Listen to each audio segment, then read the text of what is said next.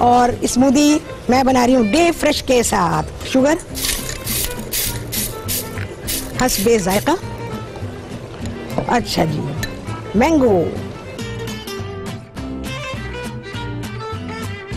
Smoothie में banana ज़रूर डालें। डे फ्रेश का मिल्क, डे फ्रेश का मिल्क मैंने डाल दिया इसमें। अभी मैं एक डाल रही ब्लेंड करेंगे। और जब सर्व करेंगे तो बहुत ही अच्छा इसको ठंडा ठंडा सर्व करेंगे फ्रीजर में रख दें, कोई मसला नहीं है।